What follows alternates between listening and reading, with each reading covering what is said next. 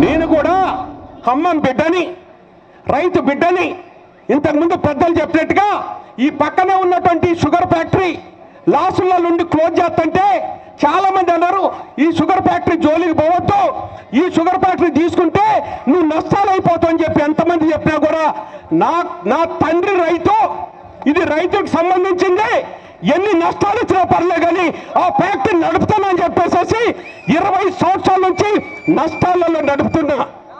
అది మాకి ఖమ్మం జిల్లా మీద ఉన్నటువంటి ప్రేమ. ఖమ్మం జిల్లా బాగుండాలా?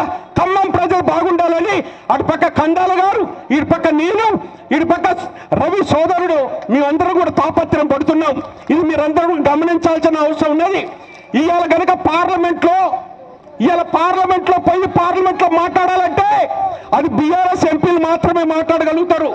వేరే వాళ్ళు ఎంపీలు వేరే పార్టీ వాళ్ళు ఇక్కడ గెలిచినా కూడా వేస్ట్ ఎందుకు ఈ మాట్లాడతానంటే మొన్న జరిగినటువంటి పార్లమెంట్లో ఇప్పుడు ముగ్గురు కాంగ్రెస్ వాళ్ళు ఉన్నారు.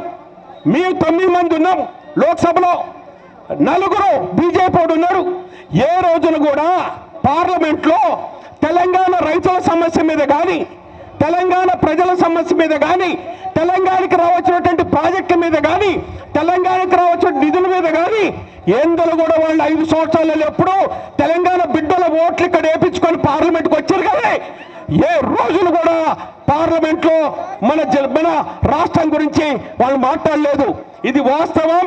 అందుకనే పార్లమెంట్లో తెలంగాణ గొంతు ఎత్తాలంటే అది సాధ్యపడేది కేవలం బీఆర్ఎస్ ఎంపీలు మాత్రమే.